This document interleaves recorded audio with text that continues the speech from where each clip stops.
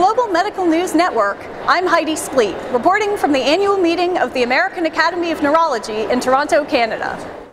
Dr. Michelle Cameron found that multiple sclerosis patients with more severe disease and poor balance confidence were at increased risk for falls. So really my goal was to understand a little bit more about who falls, who has MS, how many people have MS fall, and what the correlates of those falls are, particularly with related to their disease severity and their balance and their self-perception of their balance. How were you surprised by your results? I wasn't terribly surprised by my results, which is good.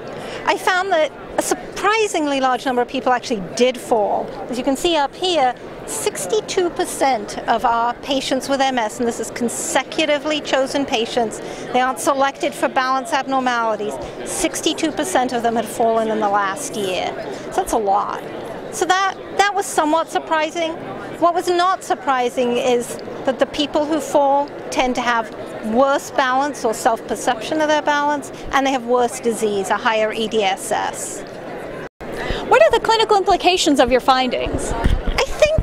Clinical implications are sort of two or threefold. First of all, as neurologists, when I speak to neurologists about falls in MS, most of them say, huh, you know, I never ask. Ask. Ask your patients if they fall. Then we can start with interventions. I don't think we have a clear sense of how to intervene right now. Physical therapy is probably the best answer with specific direction towards rehab that addresses balance issues. So I think that's really where we're going. And then the not surprising answer to almost every study, more research is needed.